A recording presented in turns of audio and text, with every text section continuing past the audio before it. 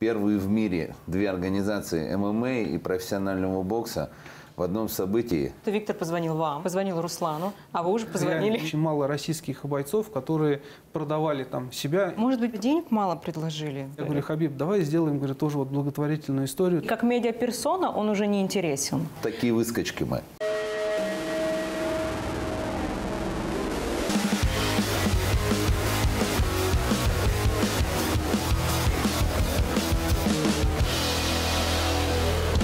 Всем привет! Программа «От первого лица». Здравствуйте. Сегодня разве что ленивый, согласись, Тимур не говорит о предстоящем поединке Руслана Проводникова и Алиба Гаудинова. Обсудим это и мы, причем с организаторами этой коллаборации бокса и ММА.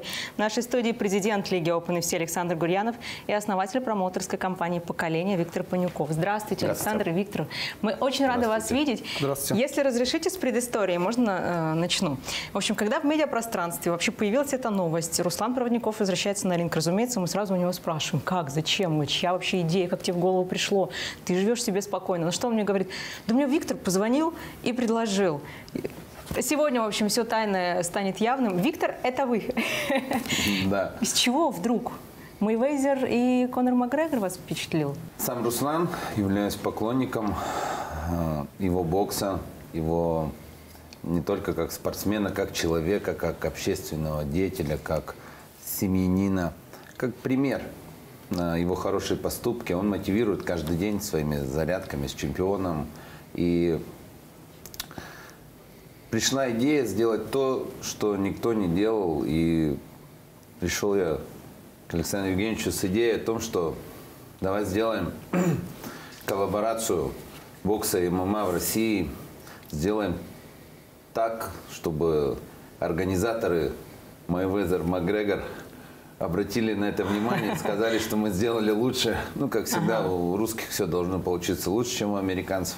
Ну, там-то они неплохо заработали. Ну, у нас не цель заработать здесь. а Основные цели мы решили. У Руслана самое, ну, основное условие, которое было основополагающим, чтобы сделать что-то доброе, и мы все вместе приняли решение, что турнир пройдет по тезисам «драться, чтобы спасти». Сейчас э, активно занимаемся э, именно вот проработкой благотворительного направления, потому что было принято решение заработанные деньги с продажи билетов этого турнира отдать все в помощь детям, действительно, кому нужно помочь. То есть все в этот вечер, 18 декабря, планируется сделать свою работу для того, чтобы спасти чью-то жизнь. Мы обычно, Александр Евгеньевич, там, всем приглашаем, всех там на турнир раздает билеты, а в этот раз решили, что все будут покупать билеты, даже мы. Ну, Да, каждый заплатит да. за свое место для того, чтобы спасти чью-то жизнь. Придет каждый гость, э, внесет стоимость за билет. Деньги будут собраны, все отправлены на благотворительность.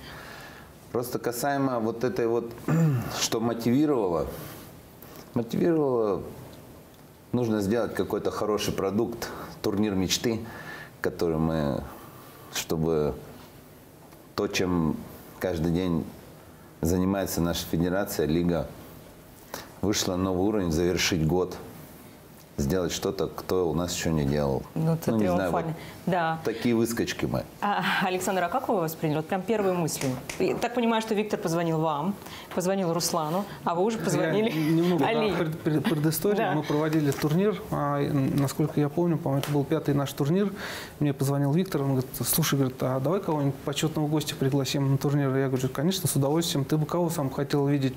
Я ему называю как бы ребят, кого можно было пригласить. Он говорит, о, говорит, вот Руслан Проводников, это очень, я бы с удовольствием сам с ним познакомился и как бы встретил его, уделил внимание. Ну, так вот, хочется как бы поближе узнать этого человека. Я говорю, все здорово, мы договариваемся, он приезжает, буквально там, а, я думаю, там проходит 2-3 дня, и у него в процессе уже как бы рождается вот эта идея а, у Виктора о том, чтобы провести вот этот, на самом, на самом деле, такой а, мега-супербой, да, а, экс-боец UFC, а, который дрался за пояс лучшей организации мира.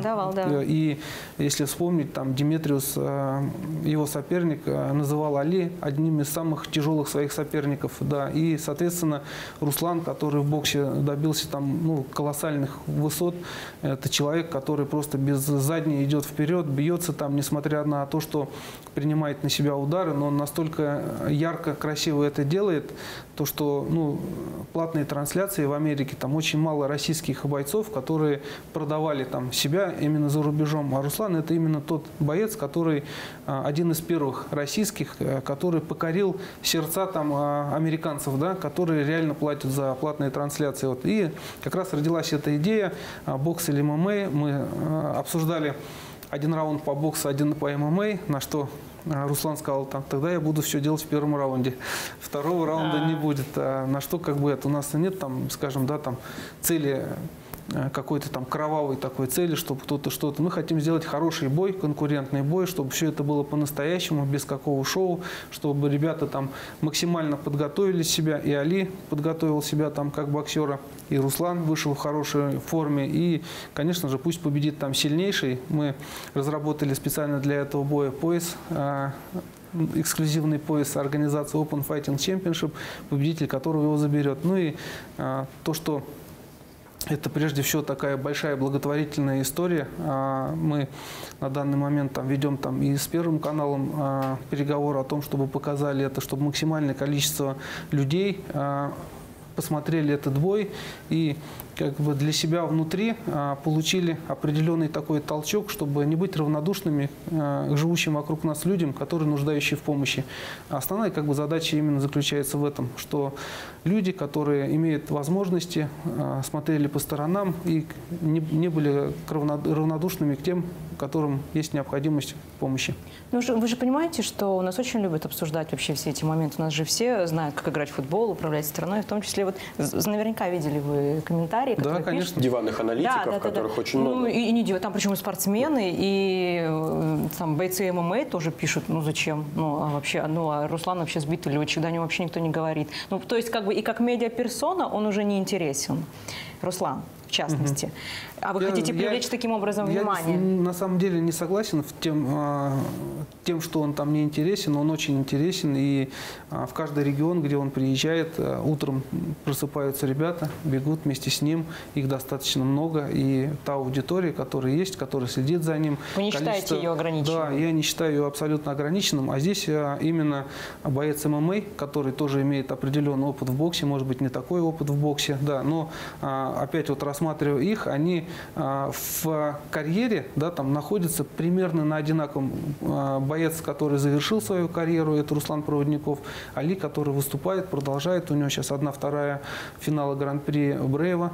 А, Буквально осенью там состоится этот бой. Я надеюсь, что он выйдет в финал и станет там чемпионом. И а, насколько он, скажем, мотивирован и насколько он там тренируется, он является действующим бойцом, несмотря на то, что в боксе у него нет такого большого опыта, как у Руслана Проводникова. Я не считаю, что его андердогом. Я считаю, что это равный бой с небольшим преимуществом Руслана, так как он в боксе гораздо дольше. Но то, что он давно уже не боксирует и просто поддерживает себя в физической форме, а Али является действующим бойцом, поэтому шансы Али немного выше. Ну, то есть еще, наверное, кто будет тренировать? Кто будет э, тренировать боксу? Если, да, какие-то по подготовке. Ну, это надо Ну, будет с, ребятами, например. с, с ребятами. Вот мы а, 12 сентября готовим большую пресс-конференцию подписания контрактов. А вы-то знаете Да. же, не И расскажете? они как раз хотят познакомить э, со своими тренерами и рассказать, как у них и где будет проходить тренировка. Не будем забегать вперед, оставим небольшую интригу. Окей, то есть даже если мы сейчас озвучим, вы все равно не подтвердите, да? Там просто ходит слух, что э, просто супер кла- класса чемпиона будут тренировать Али Багаудинова. И таким Пока нет образом- еще договоренностей, поэтому мы А. об этом не будем говорить, чтобы Ну, по секрету вам скажем, там говорят, э, Костя Дюну, можете, да, все представить? Ну, Ну, в общем, увидимся на пресс-конференции, правильно? Мы думали, что вы сейчас нам какой-нибудь вот такой вот инсайд дадите.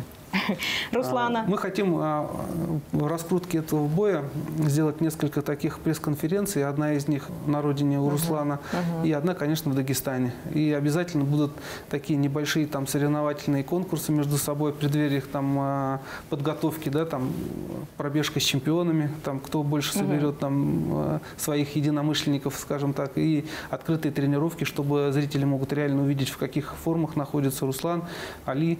Я думаю, будет очень много всего интересного в рамках подготовки к этому событию. Ну и, конечно же, само событие мы планируем сделать там максимальное там, количество возможных зрителей. И зрители не только там из России, я думаю, там со всего мира, любители и, скажем, ценители настоящего бокса, настоящих там единоборств приедут и пять посмотрят. зрелищных раундов, да? Ну, мы надеемся, что Однозначно. вся дистанцию пройдут, да, по три минуты по правилам бокса. Кто занимается поиском ребенка, которому в итоге должны помочь?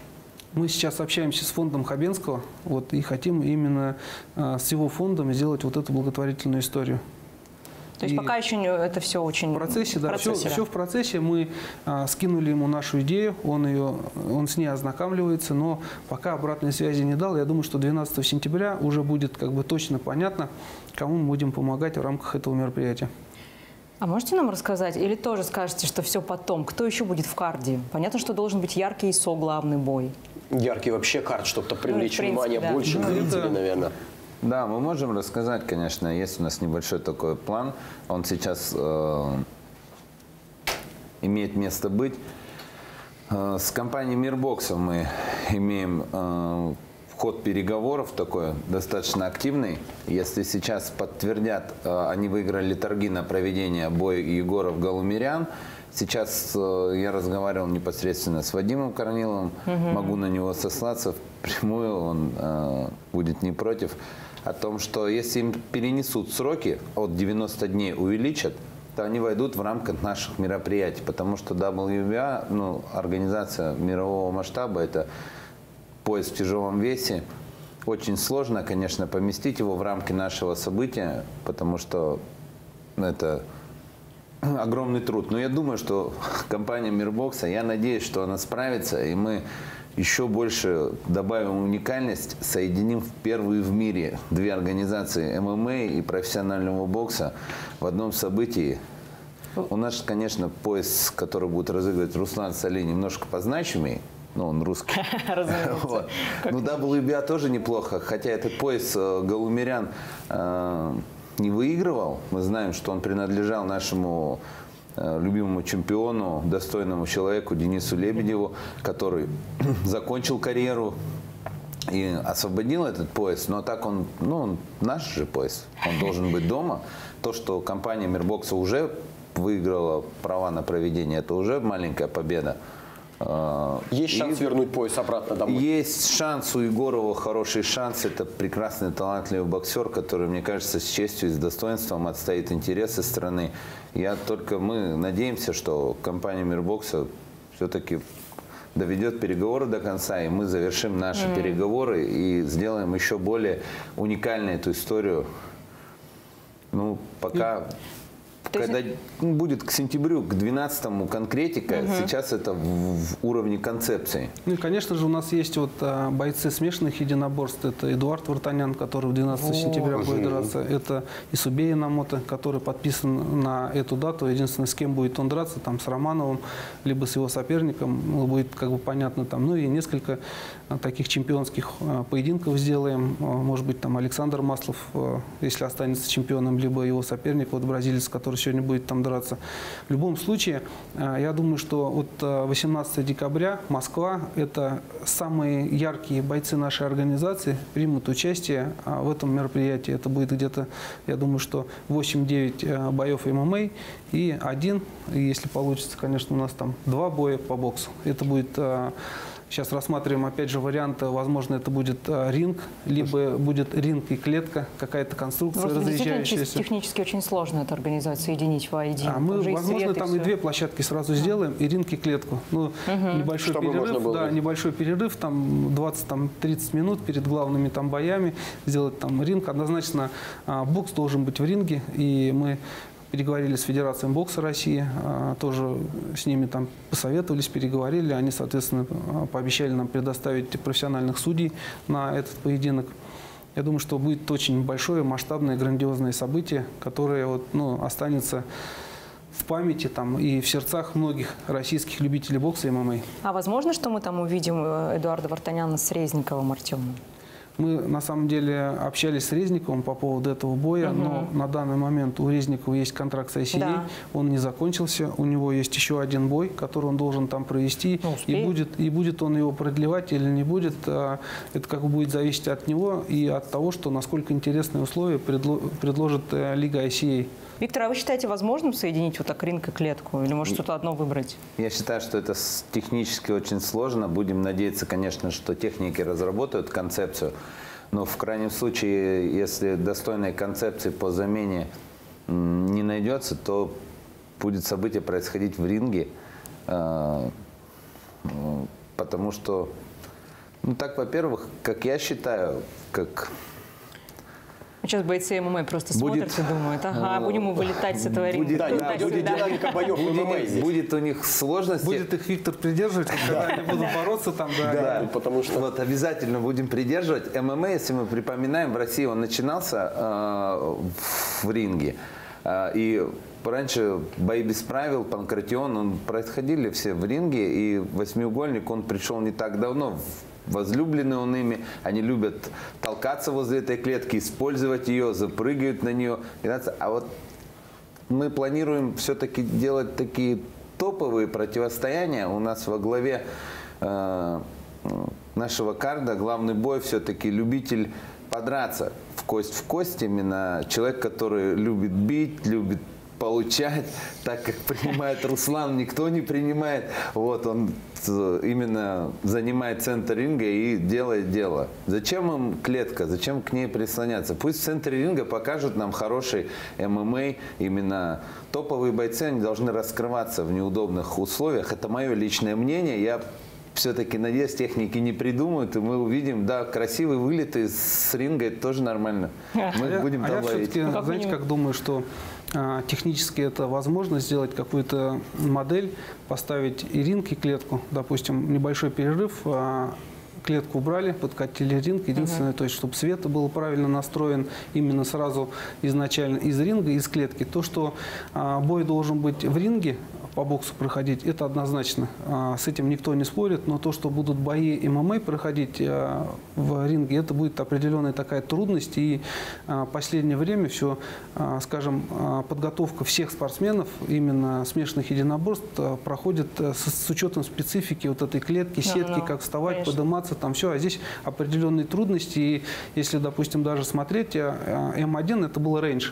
Это была там небольшая там внизу сетка, которая там не позволяла выйти. Но когда они начинались бороться там и прижиматься наверху, то есть стоя, то угу. очень часто судьи делали замечания или останавливали поединки, а это как бы, ну, скажем, а, определенная а, динамику нарушала Да, динамику боя. нарушал динамику и такой там, ну, дискомфорт для бойцов, для спортсменов. Он там начинает как бы его подавливать, а тут раз там вылез, там раз остановили, они сюда опять перешли. И это ну, не совсем так красиво и ярко получалось. А есть какой-то у вас такой медиаплан, там, не знаю, трэш-ток они должны устраивать, Руслан и Али? Или вы за этим как-то не гонитесь? Вы знаете, как это вот, это бойцы, которые уже такие достаточно состоятельные, уже состоявшиеся, и им а, что-то, допустим, сказать, там, вот сделать надо так, они уже сами все знают если видели, там вот Али Багаудинов там вчера выложил там с перфоратором. Да, я смеялся. Вот там до этого а, про стихи там а, выложил. То есть они а, тихонько поддерживают, скажем, вот это противостояние так на своем уровне, так не дают, скажем, своей аудитории не забыть о 18 декабря. Но я думаю, что все начнется с 12 сентября, когда мы подпишем контракты, мы сядем, озвучим подготовку, кто где будет готовиться, как это все будет происходить, медиаплан, режиссер, сценарий. И я думаю, что с этого момента такая начнется уже такая по-настоящему контрольная отсечка я просто и смотрю на Инстаграм, ну, я подписана и на Али, и на Руслана, и смотрю, о, вообще неожиданно совершенно. Думаю, значит, там дали им все-таки команду, ребят, нет, давайте нет, абсолютно, они сами, мы вообще никого ни о чем не просили. Вот, ну, сами по себе такие, скажем, веселые ребята, а, очень так интеллектуально там развитые, там с чувством юмора.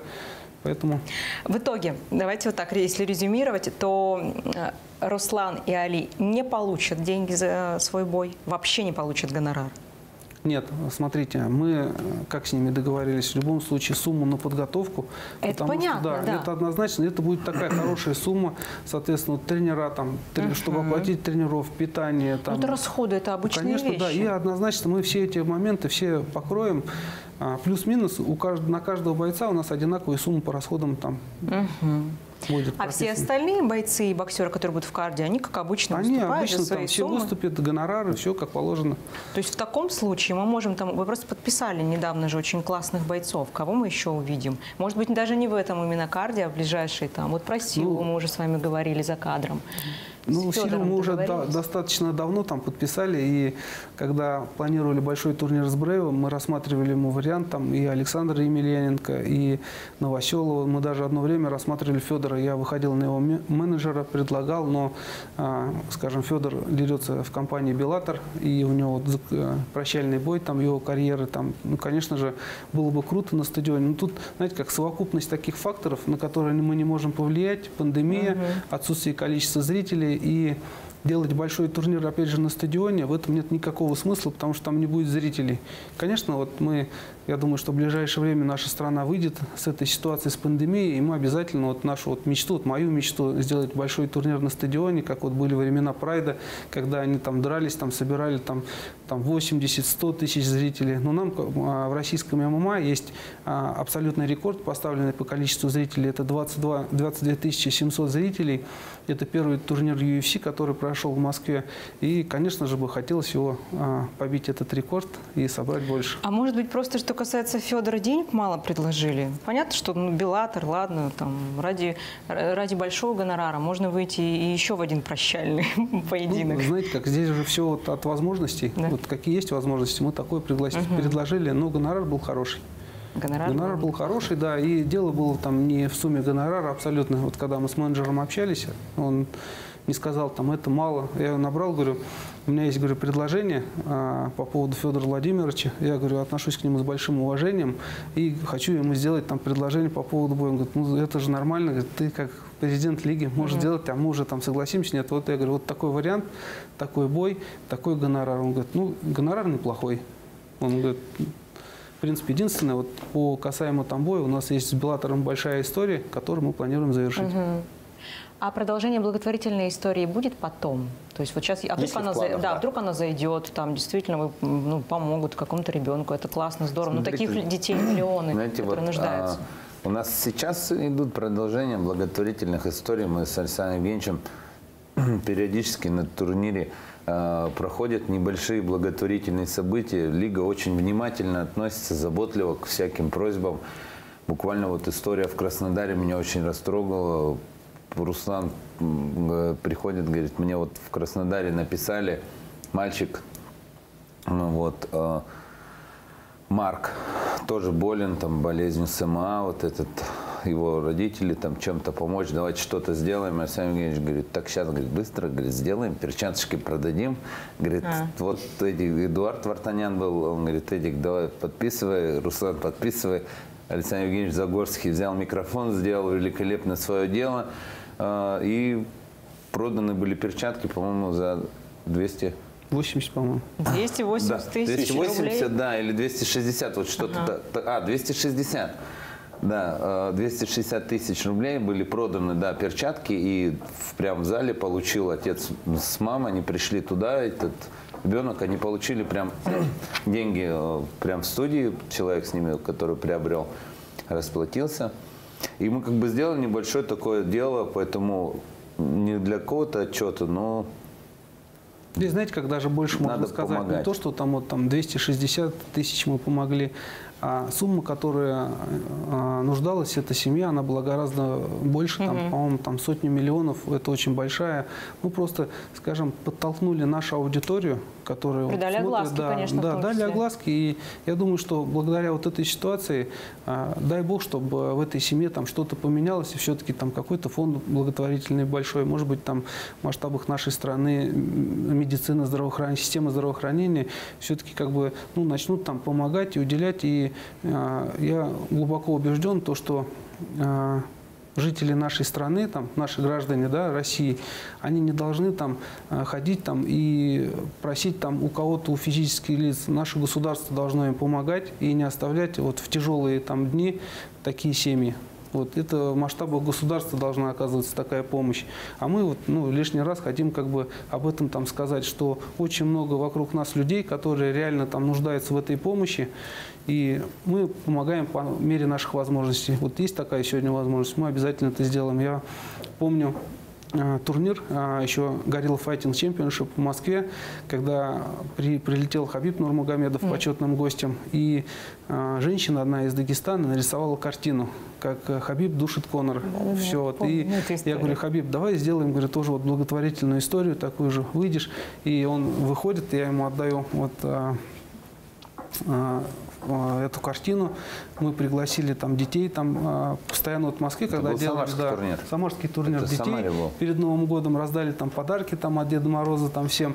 Вот я говорю, вот мы сейчас напишем эту дату, ты поставишь свою подпись, а в конце подпишешь с уважением вот этому человеку, который приобретет эту картину. Картина, по-моему, вот ушла за 400 тысяч рублей. Вот, и мы тоже все, соответственно, отдали там на благотворительность. А, парень, который купил, он президент Федерации борьбы с Красноярска. Тогда дрался в карде Мигран Арутюнян, а, вот, призер Олимпийских игр. Вот он приехал за него поболеть, и он купил эту картину. Я прилетал в Красноярск, встречался с этим парнем, а, Рафик его зовут. Вот, и он говорит, блин, я повесил, хожу, смотрю и радуюсь. Говорит, у меня осталась вот фотография, а, где вы мне вручаете вместе с Хабибом. И рядом, вот, э, скажем, эта картина. Это такая память, которую... Конечно, вот- именно история вся да, эта, и да. э, много, конечно же, вот э, почетных гостей приезжают на турниры, и вот э, почетные гости, они являются как бы таким определенным магнитом для людей, которые за ними смотрят, следят и, конечно же, имеют возможность сфотографироваться, либо пообщаться на пресс-конференции. И как бы вот уделяем этому тоже определенное внимание. А Вот вы, кстати, сейчас заговорили про Хабиба Нурмагомедова. А вот на сегодняшний день вы общаетесь со своими экс-партнерами по GFC? Мы с ним абсолютно нормально разошлись. Они Он- как-то прокомментировали вашу э, историю? По вот поводу вот этого боя? Руслана и Али. Да. А, Знаете, как я с ними не общался на предмет того, что как они к этому относятся, хорошо, плохо, но мы абсолютно нормально с ними разошлись. Они выкупили полностью организацию, которую мы там на протяжении там, полутора лет развивали, выкупили за очень хорошие деньги. И если рассматривать э, именно как бизнес-проект, организацию там промоутерской компании, этот бизнес-проект Gorilla Fighting Championship GFC был очень удачный, скажу так. Да. Я остался доволен после этой сделки. Ну, то есть сейчас Хабиб Нурмагомедов там не позвонит, например, вам и не скажет, слушайте, ребята, клевая история, на самом деле, вообще классно вы придумали. Вот, например, а вывести Али и Руслана. Знаете, как это вот э, Хабиб э, это такая мировая величина, и даже когда мы вот были с ним партнерами, я никогда там не, не старался там его как-то нагружать какими-то своими Да. вопросами. Я вот а, всегда как бы ну самостоятельно там занимался, развивал. И знаете, как вот многие говорили, вот э, GFC это организация там Хабиба, все благодаря Хабибу она развивается. Вот Open Fighting Championship сегодня у нас девятый международный турнир. Да. 12 сентября 10 юбилейный, меньше года, большой такой достаточно путь. И я считаю, что мы самостоятельная организация и сами там добиваемся успеха и развиваемся там дальше. Но опять же, а, то, что а, мы когда развивались вместе, это зарубежные там турниры, это Узбекистан, это Казахстан, а, насколько жители этой страны, руководство этой страны относятся к нему уважение, соответственно, и встречи, и уровень турнира был абсолютно на другом уровне. Я думаю, что та организация, которой владеет Хабиб, Eagles Fighting Championship, она станет одной из э, лидирующих организаций Следите в за мире. ее развитием?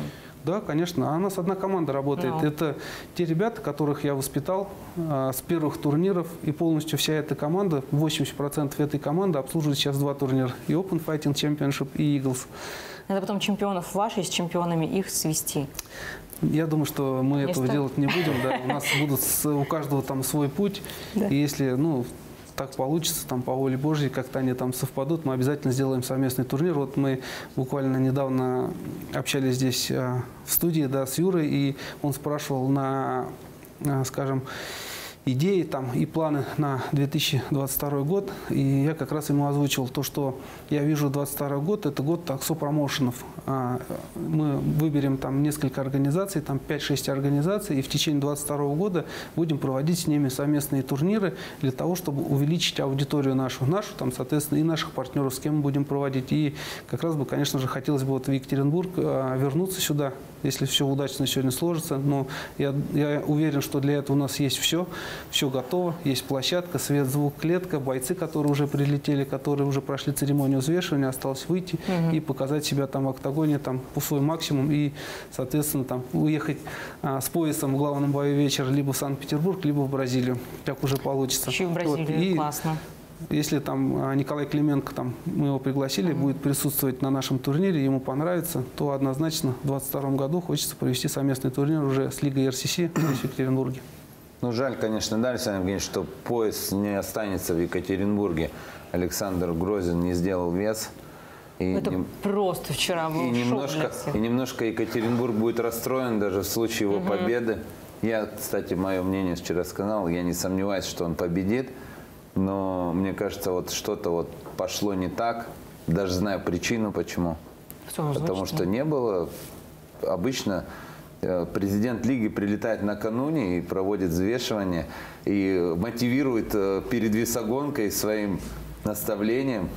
Мне вчера Свящев и Грозин, они так сказали, что руководства не было, поэтому Не удалось расслабились, расслабились, не было Пошел президента. поел просто человек. Видать, Видно, что-то у него не получилось, не было дополнительной мотивации. Но на самом деле э, очень переживаем за это, то, что Ну, на самом деле, знаете, как вот э, это очень сложный процесс, процесс весогонки и э, определенное там э, такое здоровье бойца, которое после каждой этой весогонки уходит, резкий спад, там, допустим, он весил две недели назад там 75 килограмм, да, там, а сейчас он взял там 8-10 килограмм, сразу там скинул резко, причем, да, там и за последние сутки 4-5 килограмм веса, и не каждый боец, спортсмен справляется.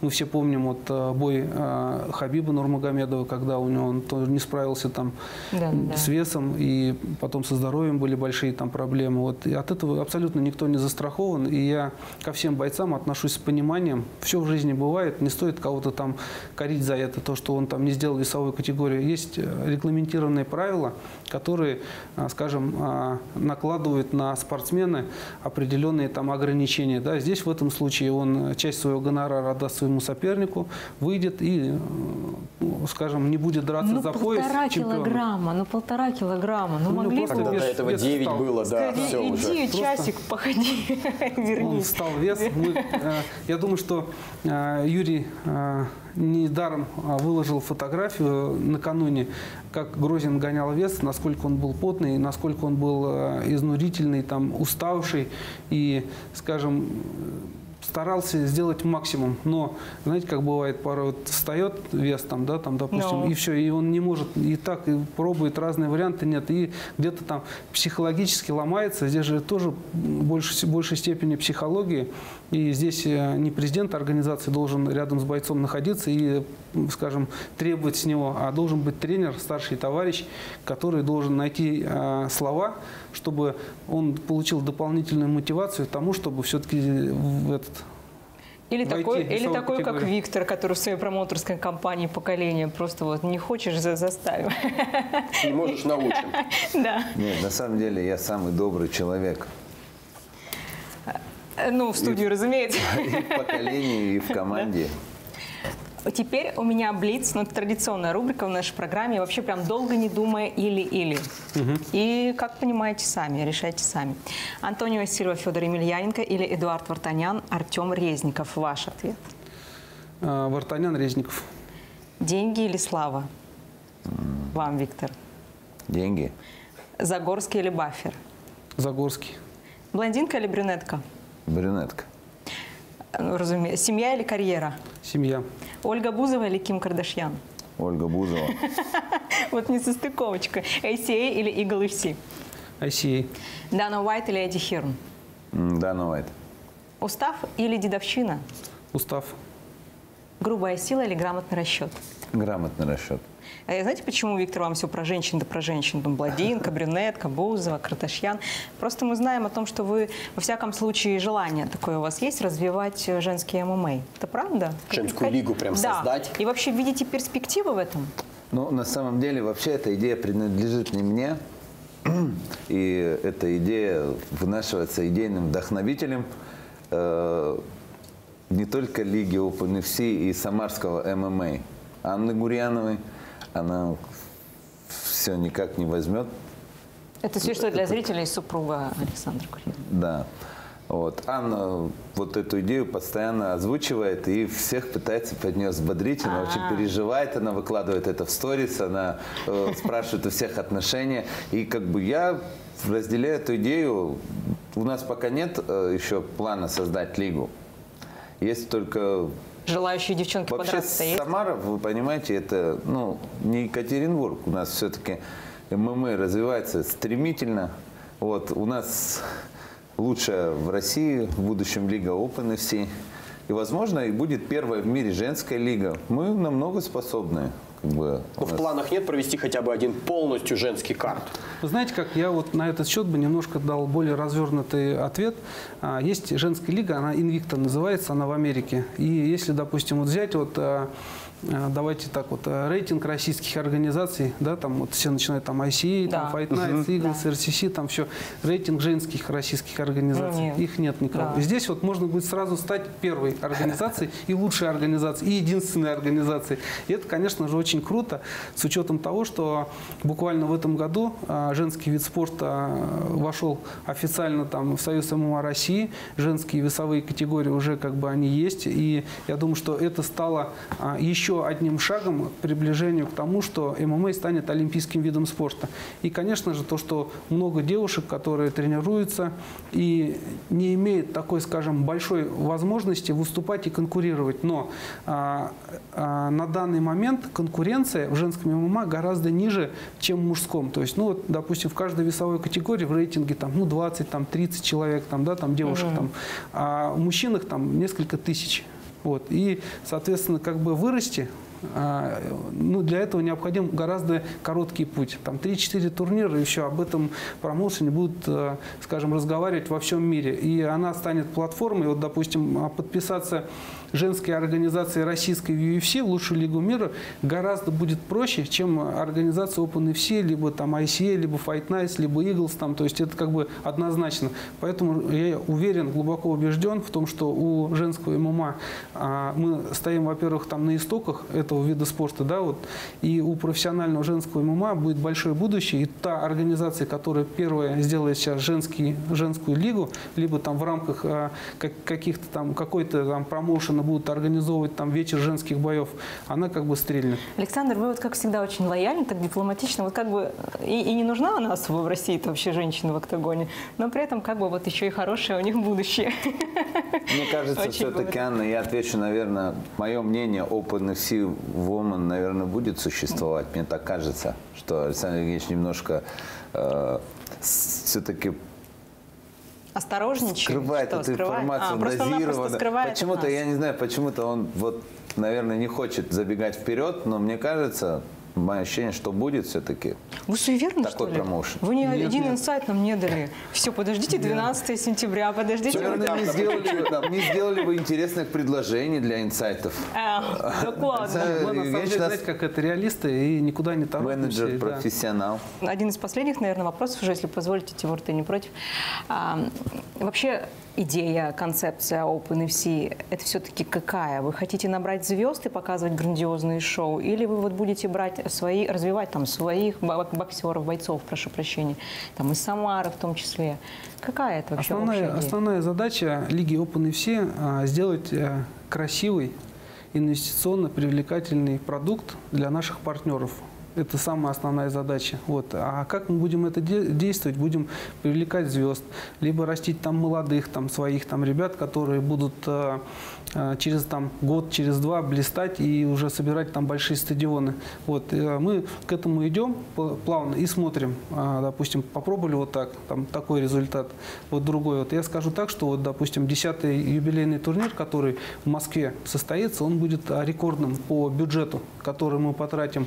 Но самое главное, что он не будет там минусовым для владельцев этой организации. За счет, скажем, наших партнеров, которые мы привлекаем на этот юбилейный турнир, мы планируем там а, покрыть все абсолютно расходы, а это более там а, 12 миллионов рублей, вот бюджет там планируется, который на московский там турнир, и это как бы здорово, классно.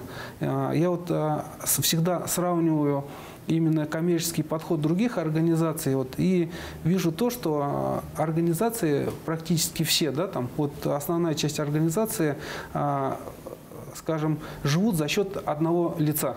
Одного, там, Да. ну, максимум двух, там, либо два партнера, либо просто там бизнесмен, который вот в том числе как бы вот организацию там RCC, да, у них там нет партнеров.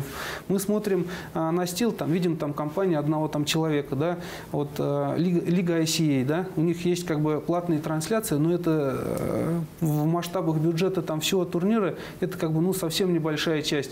Есть как бы человек с финансовыми там возможностями, который организовывает, э, продвигает эту организацию. Да, на сегодняшний день это самая там крутая организация нашей страны, но именно а, коммерческой составляющей там нет. Вот э, Eagle FC, все тоже Хабиб, а, все там приглашают Хабиба, за счет Хабиба проводят там турниры, но а, какой-то там, допустим, там именно в самом Иглсе какой-то рекламной там ситуации как бы нет. Там не, не платят за рекламу, пла- платят за отношения с Хабибом. Вот основная часть партнеров. Fight Nights. Вот Лига Open и все, а, я вот больше всего хочу быть похожим на Fight Nights, на Камил Гаджиев. Вот я на него смотрю, на него ориентируюсь, и мне нравится его подход. Это определенное шоу всегда там, да, это красивые там поединки, там все партнеры, которые приходят, реально покупают а, партнерские спонсорские пакеты и, скажем, а, помогают там э, делать э, то или иное там мероприятие. Люди покупают там билеты, там шоу. И, а, допустим, на трибунах часто видно там семьями приходят там с детьми, там все. Я вот хочу как бы прийти к тому, что а, Лига Open FC стала таким вот а, праздником для города. Вот мы приехали в город, мы проводим турнир, и люди приходят. Это такой хороший такой спортивный праздник, повод прийти, посмотреть, насладиться там хорошими боями, вот этой атмосферой, которая там в зале. Вот как конечная цель такая. Ну, то есть нет каких-то амбициозных планов, мы вообще конкурируем там с ACA, мы потом будем круче них, там и вообще в принципе Мы пока об этом нет, даже да? не думаем. А если деньги приносит поп ММА, значит мы и это увидим на площадке OpenFC? Ну, у нас есть э, Рафаэль Абрамян, Да. который там блистает. А, то есть вы не против? Да, абсолютно. Спорт, шоу, без разницы. Ну, больше, больше как бы акцент на спорт, но, еще раз говорю, нужно давать то, что люди смотрят и хотят смотреть однозначно. Я э, был вот, э, да, у нас там развивается Лига Хардкор, был там на съемках этой организации, когда вот приезжают бойцы, у нас Тимур Слащинин там чемпионом был гран-при в тяжелом весе, вот, когда людям звонят за три дня, говорят, там, завтра ты дерешься. Нет времени на подготовки. В этом нет спорта. Абсолютно никакого спорта. Ты не знаешь своего соперника, с кем ты будешь драться. То есть, тебе говорят. И потом приезжают там бойцы и просто там сутками э, сидят там в коридоре, ждут там свои, свое, свое выступление. Снимают сразу там 3-4 там сезона там, да. И а, здесь нет спортивной составляющей. Да, есть миллионные просмотры. Это круто, это хорошо для партнеров. Но конкретно для бойца, для спортсмена, который приезжает туда и тратит свое здоровье, да, там на голых кулаках пр- пропускает там удары, сечки, там травмы и прочее, это очень тяжело. Ну, Я как- не вижу там как бы какого-то большого там будущего именно как спортивной составляющей. Да, будут расти количество просмотров, но то, что это наносит большой вред бойцам, это факт. И то, что они не думают о бойцах, там какие-то минимальные гонорары, там не платят там бойцам там какие-то суммы. Я вообще не понимаю, зачем они. Только для ради популярности. То есть, Хайпа и популярности. Да, хайп. Да. То есть хайп или спорт? Спорт. Спорт, вы думаете, все-таки будет в OpenFC, да? Спорт, конечно. А, Александр Евгеньевич, он дипломат, он не допустит, э, чтобы шоу превзошло спорт, Мы, потому мы что... будем делать тот продукт, который будет интересен нашим партнерам и зрителям. И будем а, вести, но самое главное, я еще раз говорю, вот, а, э, относиться с уважением к бойцам, спортсменам, которые дерутся в организации. Да, там вот э, Эдик Вартанян, это мировая величина, э, звезда там, он проводит уже второй свой бой в лиге Open Fighting Championship. Вот. Значит, как бы мы создаем для него определенные условия, и мы относимся друг к другу с уважением. И когда он выбирает там ICA, Fight Nights, Eagle FC, RCC, он выбирает Open FC и дерется здесь. И это как бы говорит о многом. И много ребят, которые там, да, там, а, тоже сам, Исубей Намото, тоже как бы вот мы с ним... Тут вы друг другу нужны. Да, мы друг- договорились, а он выступил. Вот Сергей Белостенный, который был у вас в студии, тоже очень крутой там тяжеловес. Александр Маслов, вот Кирилл Корнилов, который выступает э, в РСС, но он у нас тоже там выступал. Много там Сергей Романов, Ерохин, очень много ребят. В общем, интересно на самом деле увидеть, что будет дальше, да? Будем следить за вашей Да. лигой с огромным А удовольствием. мы за вашей передачей Спасибо и каналом. большое вам. Спасибо. Спасибо Виктор большое. Александр, вообще классно, что вы сегодня были у нас в студии. Я думаю, что не, не- ну, первый, но не последний раз. Спасибо. Спасибо. Да, для наших зрителей напомним, что у нас в студии был президент Лиги Open FC Александр Гурьянов и основатель промоутерской компании «Поколение» Виктор Пуняков. Но мы обязательно увидимся, а пока-пока. До свидания.